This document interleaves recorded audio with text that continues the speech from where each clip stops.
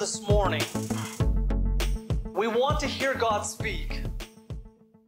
And that's the reason why we came, wasn't it? I mean, that's the reason why you're here this morning, is you want to hear God speak. That's the reason why you came. Now, there are exceptions for all those teenagers who were drugged by their parents to the worship service. You may be questioning whether you actually want to hear God speak or not. Most of us want to hear God's voice today. That's why we're here. That's why, I mean, there's other things you could have done this morning. You could have slept in. It's not real hot outside, but you could have done something out in the yard. But you said, no, I want to set aside this time because I believe God is going to speak to me this morning. You know, I was thinking as I was as I was praying this morning, do you know that if a child, if a child stood up and read the Word of God, and the Holy Spirit was working and revealed the Word of God, just read it, and the Holy Spirit was working and revealed the Word to the hearts of the listeners, that would mean more than if a learned man got up and spoke and just expounded the Word of God without the presence of the Holy Spirit. That child reading and the Spirit revealing is much more powerful. So this morning you come and you say, Holy Spirit, reveal to me your word. I'm listening. My ears are open. I want to hear what you have to say. For with that attitude, I'm convinced you will hear from God. God will speak to you, and it will be powerful. More powerful than somebody standing up, expounding, even eloquently, without the power of the Holy Spirit. Paul says, My speech was not eloquent when I came to you, but I came to you in power, the power of the Holy Spirit. That's what's important, that our ears are open. Matt Lauer on the Today Show in July, July 4th, 2003, he interviewed a traveling minister. And the minister said during one of the church services, happened to be a Tuesday evening, a thunderstorm came up while he was preaching a sermon on redemption from sin. And so as the thunder, thunderstorm moves in, he's preaching on the redemption of sin. He, the pastor, the traveling minister, told the congregation that God can speak in many ways, many different ways, including through thunder. And he asked God at that point what he wanted to say to the congregation, and boom, big thunder burst, and lightning struck the steeple. Now, they didn't know they were inside the church building. They didn't know the lightning had struck the steeple. They only heard the thunderclap. Boom! God, what do you want to say to this congregation? Well, they just carried on with the service. Pretty soon, a passerby saw a fire in the steeple, came running into the congregation and said, Your steeple's on fire. Get out of there. Everyone made it out safely. Everyone was fine. The fire was put out. No one was hurt.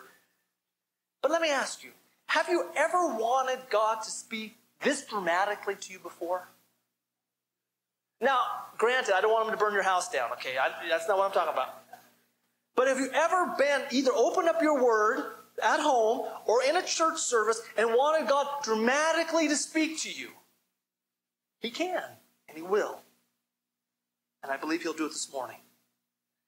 We're going to be in the book of the Revelation, and let me mention just before I, before I forget and I get going and I forget what's, what I wanted to mention to you. We started last week the Revelation, which means there's only one sermon that was preceded this one today. You normally get every Sunday a handout, which means you'll have in your hand, front and back normally, fill in the blank sort of thing so you can kind of keep up with what's going on and, and have something at home. If you were to take these handouts, put them somewhere in a folder or a binder somewhere, that when we're finished with the revelation, I don't know how many months it's going to take. We may still be at come Christmas next year. I don't know where we're going to be. God knows. He only alone knows. But when we do finish the revelation, if you'll keep track of all these sermon handouts, you will have a good study guide to reflect back on or look to when, you, when something comes up and you say, Oh, I remember Pastor Mark talked about that. You can flip through your little book and you can look at that sheet and then you'll have a reminder or a little study help. So I would encourage you, file them away somewhere. Buy maybe a little notebook like this to put them in or a larger notebook so that you'll have a nice study guide for the book of the Revelation when we're all finished. This morning, as we proceed on, we're going to look in John, uh, Revelation, the revelation of Jesus Christ, verses 4 through 8, chapter 1, verses 4 through 8. I hope that you have your Bible with you. Open up your Bible, please, to Revelation chapter 1. If you don't have your Bible with you, there's a Pew Bible in front of you that you you can use. Please do. It's on page 1028. 1028. So we're only going to look at five verses this morning. It actually is the greeting, the salutation right here with a doxology, or in this case, I've broken it down into two doxologies that we're going to see right here, with the last part talking about the sufficiency of Christ. There's great evidence that we have that leads us to believe these first five, or these five verses, uh, starting actually in verse number four, the grace to you and peace, all the way down to verse number eight, was used in the early church as an introductory greeting.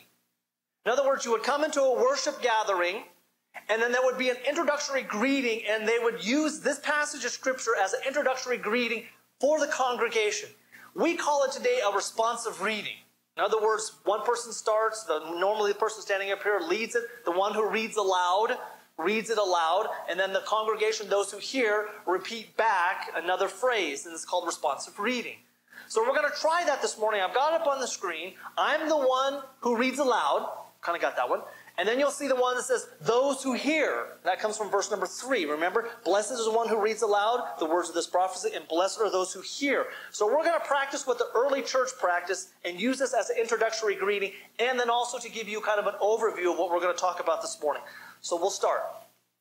I'm the one who reads aloud. Grace to you and peace from him who is, and who was, and who is to come, and from the seven spirits who are before his throne, and from Jesus Christ, the faithful witness, the firstborn from the dead, and the ruler of kings on earth.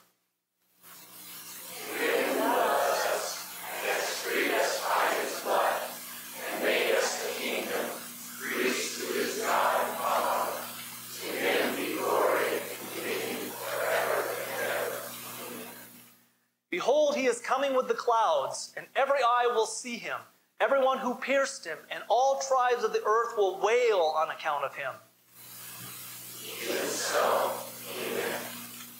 I am the Alpha and the Omega, says the Lord God, who is, and who was, and who is to come, the Almighty. According to verse number three of Revelation chapter one, I have been blessed, and you have been blessed and as you act on what you just read, the blessing comes to fullness in your life. An introductory greeting in the first century church. Let's move on and expound those verses that we just talked about right here. We're going to start in verse number four. Verse number four, we're going to look at the greeting here in verse number four to the first part of five, or what I call it 5a. We could divide verse five into two, two, two, two sections. So from four to 5a is John's greeting. So we've talked about it now. This revelation that we're looking at here is a revelation of Jesus Christ. It is an unveiling, a discovering, uh, uh, uh, a, a, a, unearth, not unearthing, but, a, but a, a revelation, an opening of who Jesus Christ is. It's all about Jesus throughout the whole revelation. It's not about us, but it's about Him. It's to reveal Him in His ascended glory and as He comes again to reign on the earth. It's all about Jesus. Thank you, Doug, for that song. It's all about Jesus. So the first part here, verses 4 and 5a, is the greeting. So we see here, verse number 4, John to the seven churches that are in Asia. This is the modern day Turkey, Asia Minor. Grace to you and peace from him who is, and who was, and who is to come, and from the seven spirits who are before his throne, and from Jesus Christ, the faithful witness, the firstborn of the dead, and the ruler of the kings on earth. So here we see this, this salutation, this greeting from John. The author again is named. Verse number one, we're told it's John. Verse number four, we're told that John's the author. But for the first time, the people who are to receive this letter are mentioned. The seven churches that are in Asia. Now, we're not told about these seven churches until verse number 11. It mentions the, the cities that the seven churches are located in. Now, we need to understand there were more than seven churches in this general area. But these seven churches, the Spirit said, write to these seven churches. It's important that these seven churches need to hear what the Spirit says to the churches. So these seven were chosen out of the number that were in Asia Minor during that day. So this we see, John to the seven churches, is it's a common salutation, a common greeting. It's used, uh, for example, grace to you and peace is used multiple times by Paul in many of his writings. He'll open up and say, grace to you and peace from God the Father and the Lord Jesus Christ. This one's a bit different though, because it's followed by a threefold divine source where our grace and peace comes from. Three places we're told in the text. Him who is, and who was, and who is to come, the seven spirits who are before his throne, and Jesus Christ. This word seven, the number seven, Paul, uh, excuse me, John uses this symbolically significant number 54 times in the Revelation. He uses it over and over again symbolically to symbolize certain things. And the thing that he wants to symbolize is fullness and completeness with this number seven. So the first source of our design, divine grace and peace comes from he who is and who was and who is to come.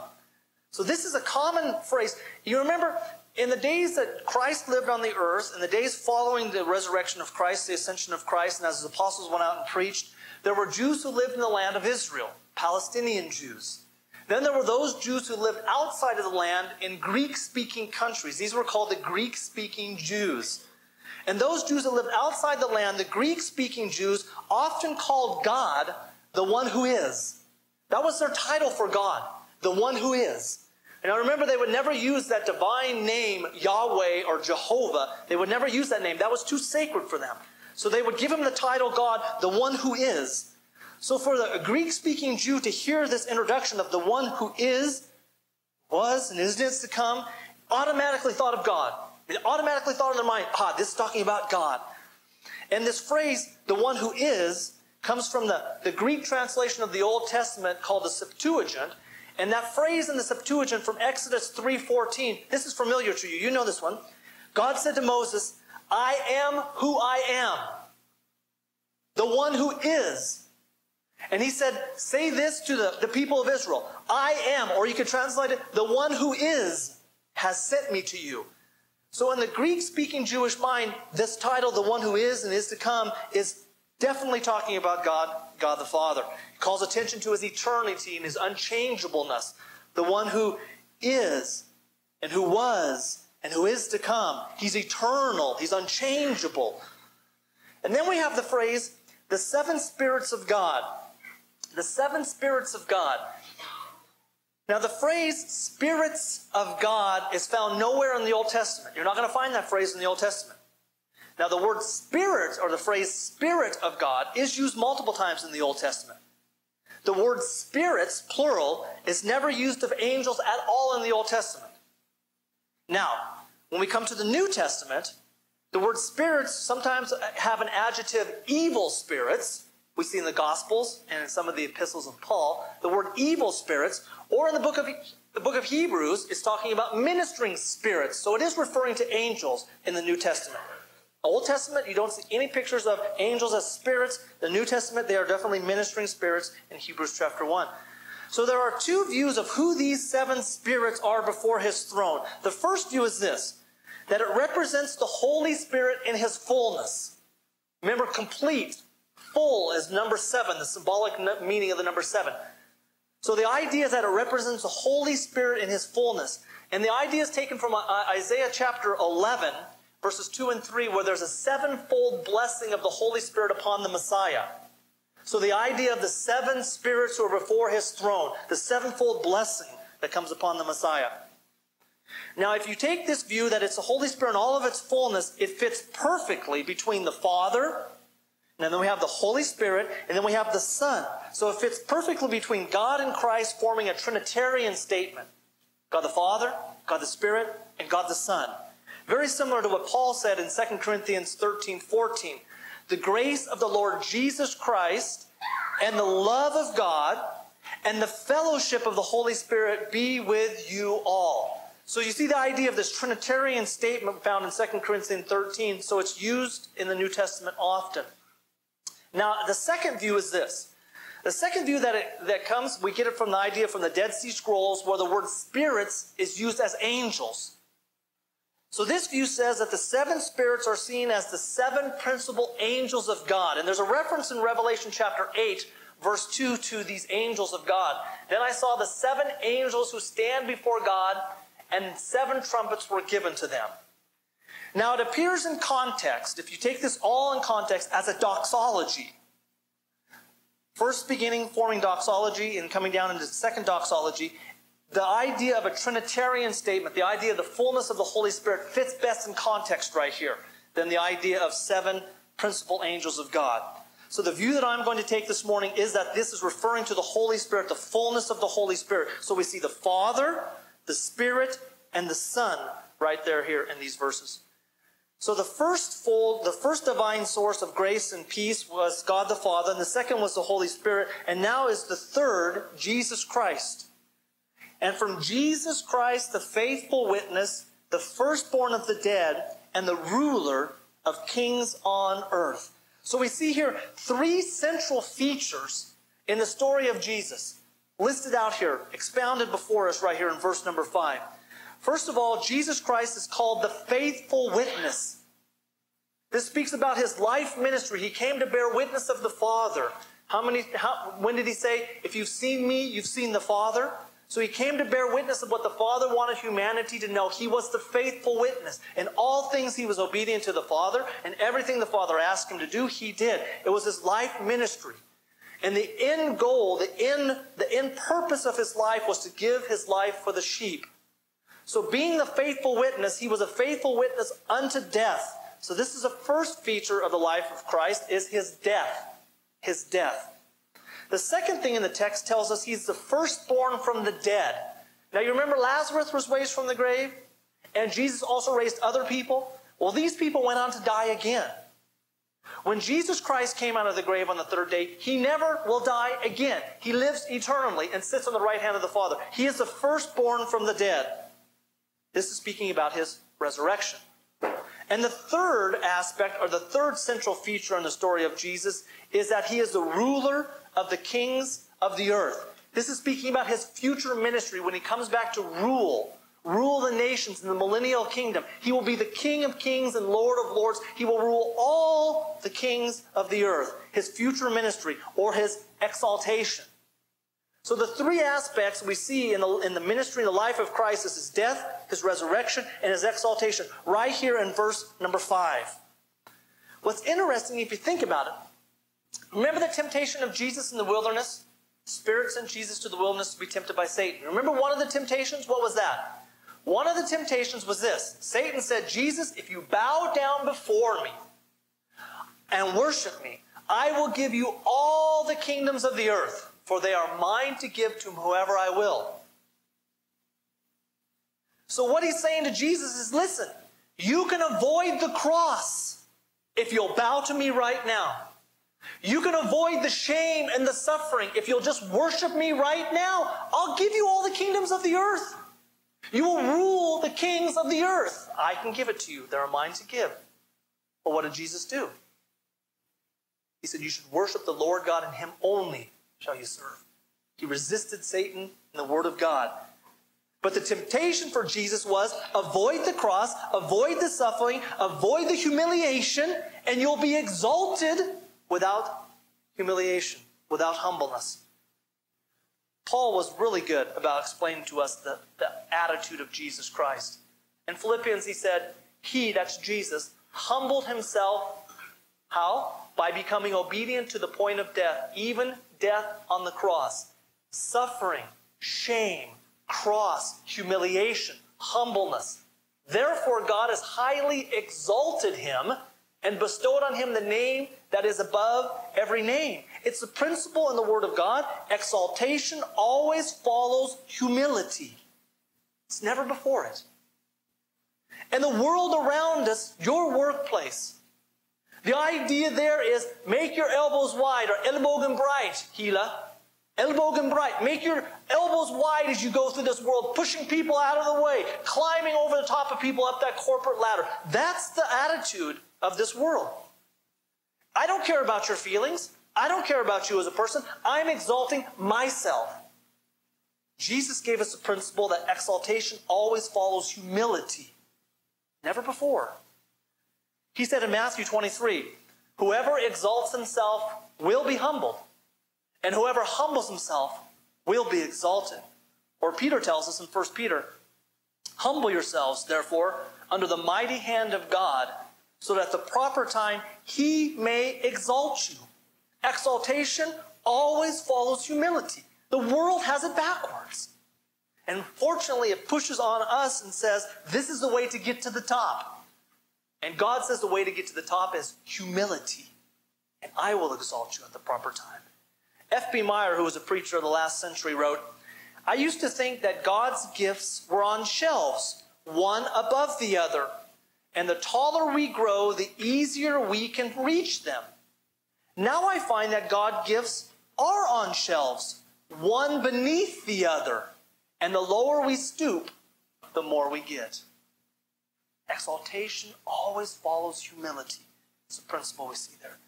Let's look at the first doxology, verses 5, the rest of 5, and verse number 6. Now, many times you'll see this as one doxology. I've broken it down into two doxologies. So let's look at this doxology, the first one here, verses 5b and 6. So a doxology then, it ends with an amen and gives glory to God. It's a doxology. So last part of 5 and verse 6. To him who loves us and has freed us from our sins by his blood and made us a kingdom priest to his God and Father. To him be glory and dominion forever and ever. Amen. Now, there are five doxologies, maybe six, because I broke this one up into two. Five or six doxologies in the Revelation. Five listed, and again, I've broken this one down into two. And what I want you to notice, the doxology is always giving glory to God, praise to God, lifting God up on high. What I want you to see, look at the text, and you look in your Bible. To whom are we praising here? To whom are we praising? 5b in verse 6. Say it again louder. We are giving praise to Jesus. We are lifting Jesus up on high. God alone is worthy of worship. We are lifting Jesus Christ on high. It is a doxology to Jesus. Jesus is the one receiving praise here. For he did three things for us. First, it says, to him, praise to him that loves us. Praise to him that loves us. Now I have to think of John 15, 13. Greater love has no man than this, than a man lay down his life for his friends. To him that loves us. And the second thing in the text that tells us, to him who freed us. Who freed us. He freed us from our sins. How did he do that? The text says, I know you have your Bibles with you. What does the text say? Look at your Bible. How did he free us from our sins? By his blood. The Old Testament sacrifices were always about blood. Oh, there were other ones that were grain offerings, but the atonement, the one for sin, was always about blood. Blood had to be offered in the place of the sinful man. And now we have Jesus Christ who freed us from our sins by his blood. It's his precious blood, that perfect blood. Notice here in the text that love is in the present tense and freed is in the past tense. So that means Christ freed us once for all, but he loves us always. The freedom came when we came to faith in Jesus Christ, forgiveness of our sins through the blood of Jesus Christ for his sacrifice on the cross. But now we live in the love of Jesus Christ our entire life and all into eternity. He freed us once for all, but loves us always. And the last thing in the text it says here, the one who made us. Who made us what? Two things in the text. He made us first a kingdom. We live in God's rule. God is our king. He is our sovereign. We are his servants. We are his subjects. We live in his rule. We are in his kingdom. Colossians 1:13 Paul says it like this. He has delivered us from the domain of darkness and transferred us to the kingdom of his beloved son. God is our king. We are in his kingdom. We live in God's rule. And the second thing that he made us was this priests to God.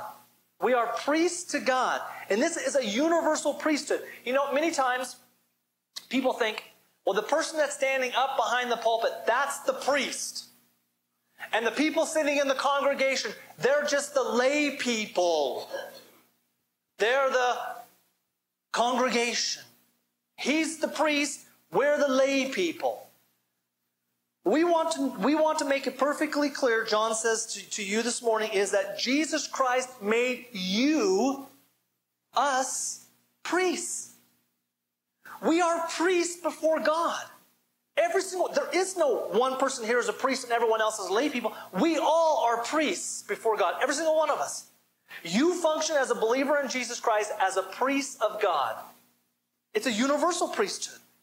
And we are to offer up spiritual sacrifices. We're to give our, our bodies as living sacrifices. We are to give our possessions as offering. We are to give praise as offering, the praise of our lips, giving thanks to his name. We offer spiritual sacrifices.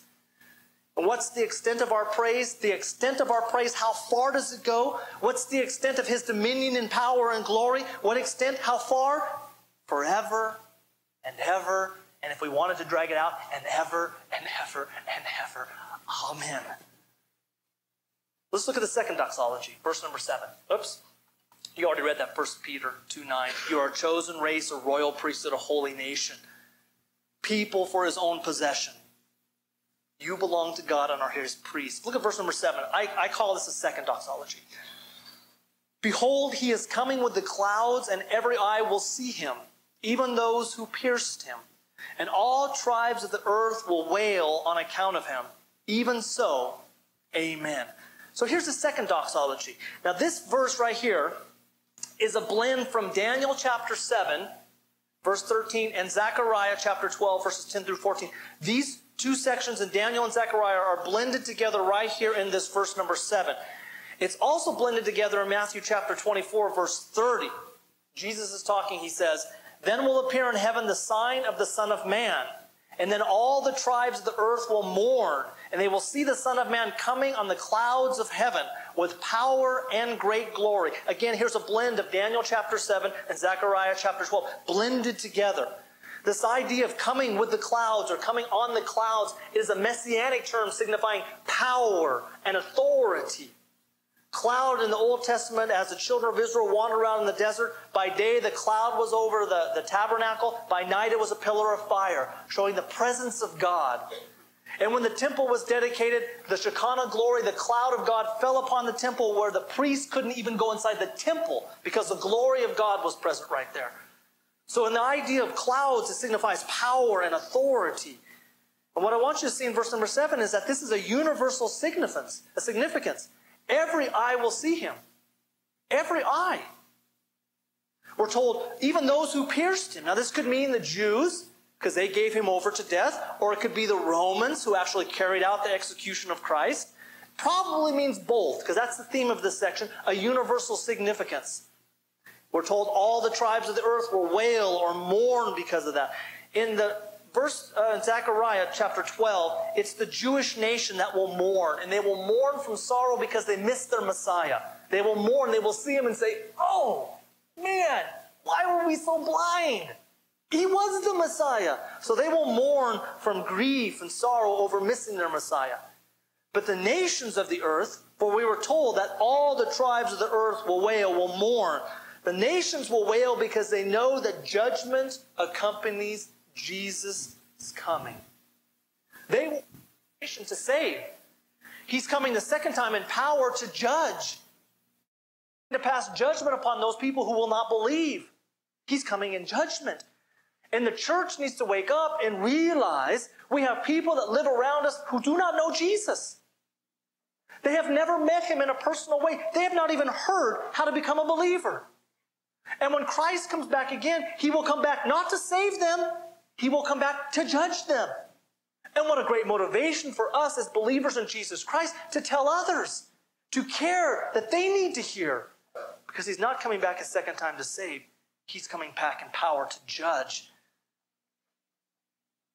At the end of this verse, it says, Even so, amen. This even so literally is an emphatic yes. You ever heard a teenager when something went well? Yes. Yes. See, they know how to do it. They know exactly how's it going. Yes. Okay, I did it wrong. Sorry about that. Yes. This is what this is saying. This is an emphatic yes.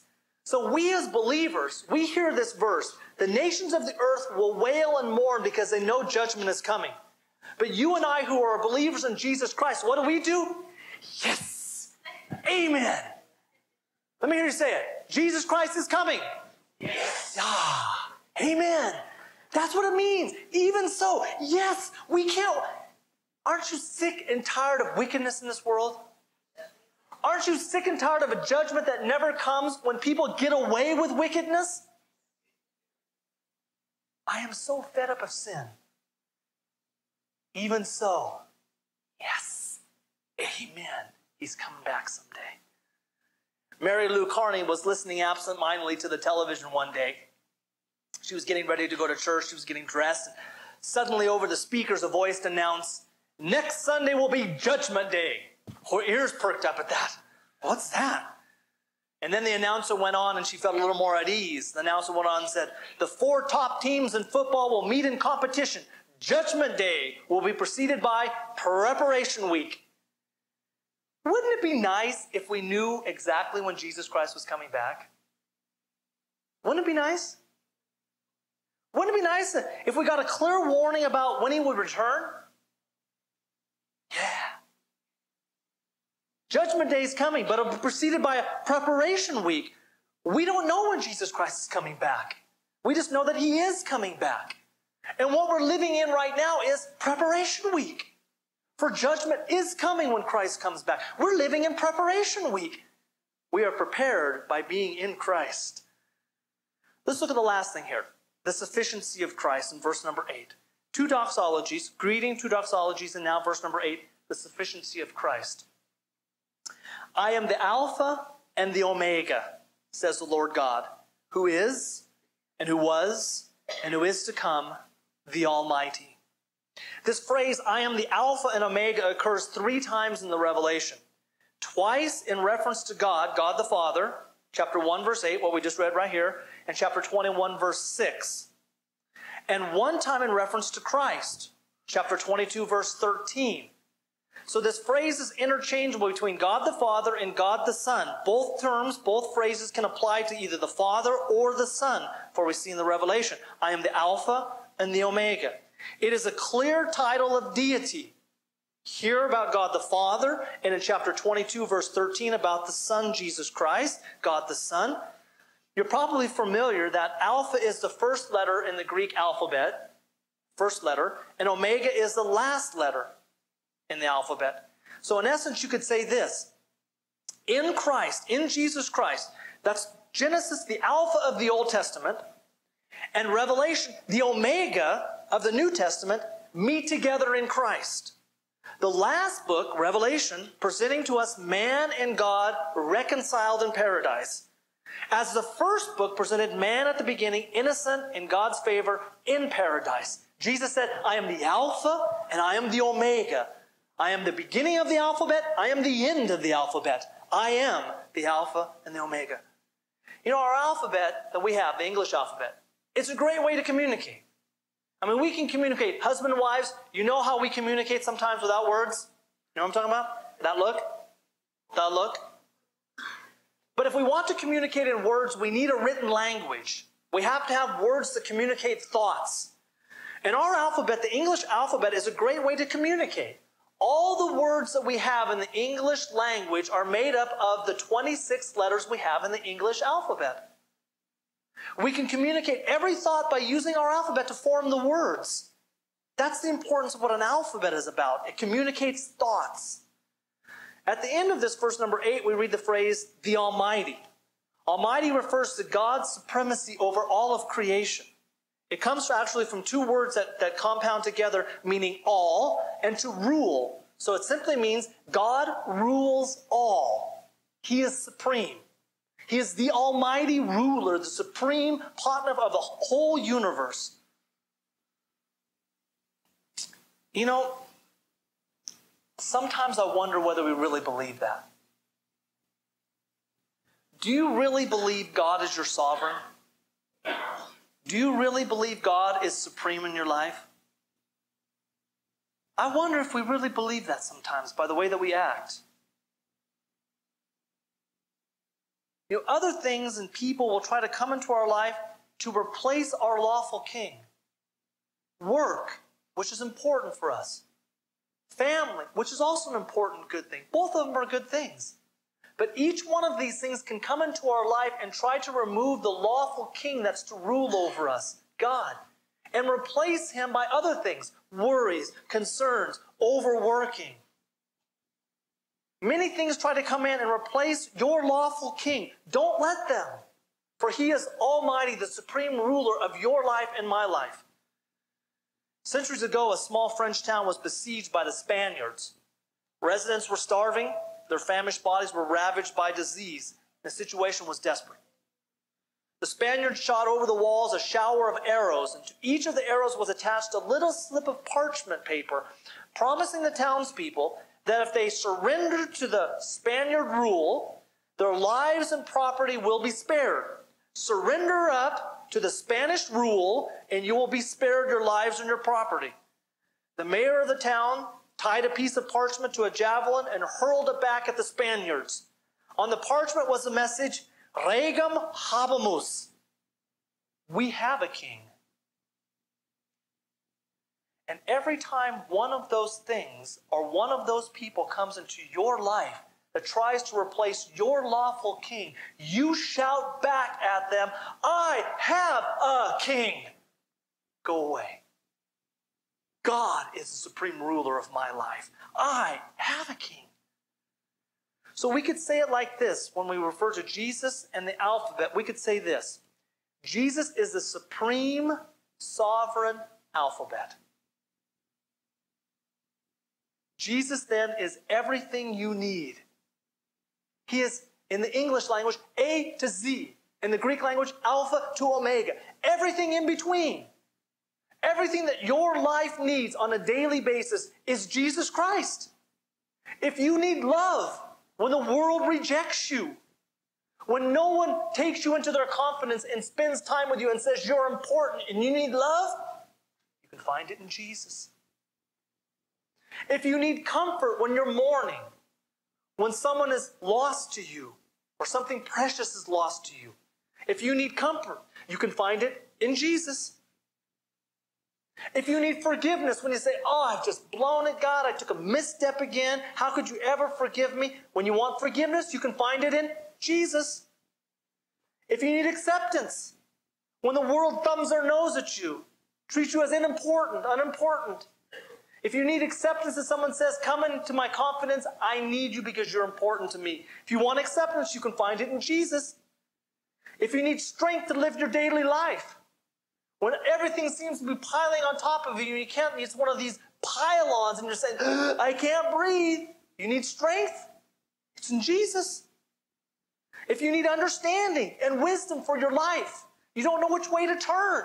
Where can you find it? You find it in Jesus. If you need a purpose for living, what's it all about? Why am I here? It's in Jesus.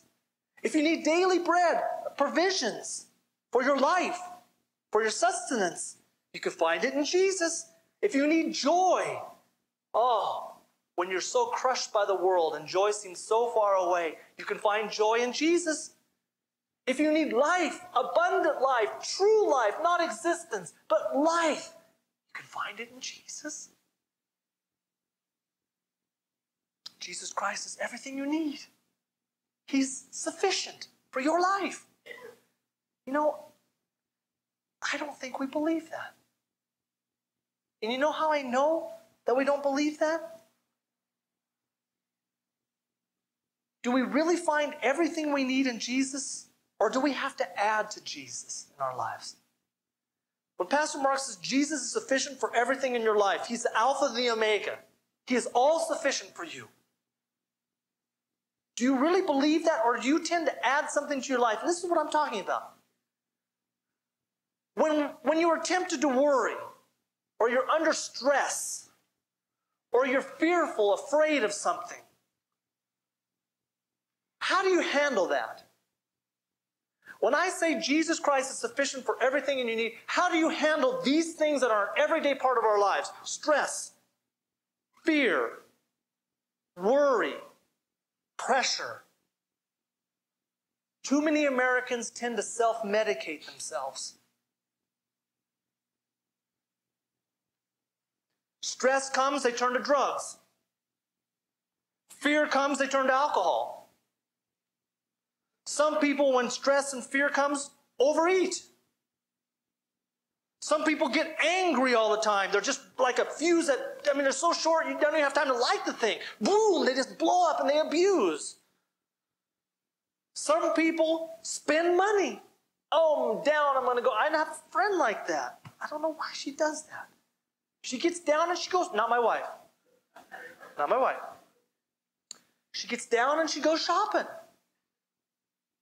We tend to self medicate ourselves when these things come upon us. We don't turn to Jesus and count him all sufficient in our life. We medicate ourselves. And Americans are conditioned to selfishly provide for themselves. Gotta look out for number one. That's the mantra you hear in the workplace. So when things go badly, we look to help in ourselves, strengthen ourselves to fix the problem. And it's wrong to think that our strength is sufficient. Jesus Christ is sufficient for you. Your strength and my strength alone is not sufficient. You know, it's at times when we think our strength is sufficient, it's like we're, we're like General Custer at Little Bighorn. What do I mean? One of Custer's scouts warned him that they were in for a fight. He estimated that there were enough Sioux to keep him busy two or three days. General Custer replied rather smugly, I'm sufficient in my own strength. He replied rather smugly, I guess we'll, we'll get through with them in one day. He even declined help from the 7th Cavalry or even the aid of a Gatling gun. I am sufficient in myself. Well, Custer was right about one thing. One day was all it took.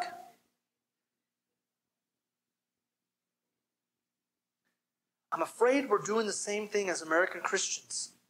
We're self medicating ourselves.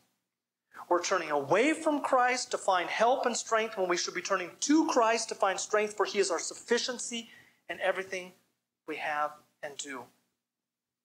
What we're basically saying is this Jesus is fine for my salvation, but I need more for me to make it in life. I need more than Jesus. I am the Alpha and the Omega, says the Lord God, who is, and who was, and who is to come, the Almighty. Paul says, Turn to Jesus. I can do all things through him who strengthens me. Paul says, Turn to Jesus. May you be strengthened with all power according to his glorious might for all endurance and patience with joy. Turn to Jesus. Worship team, would you come now, please, to close out the service?